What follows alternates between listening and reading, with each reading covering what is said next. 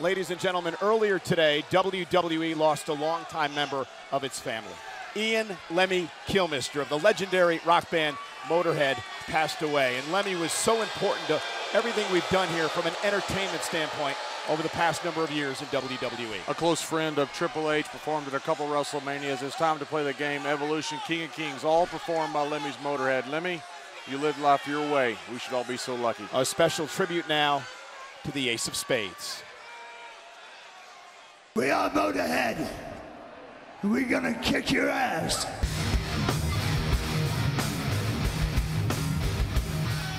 It's all about the game, and how you play it. It's all about the name,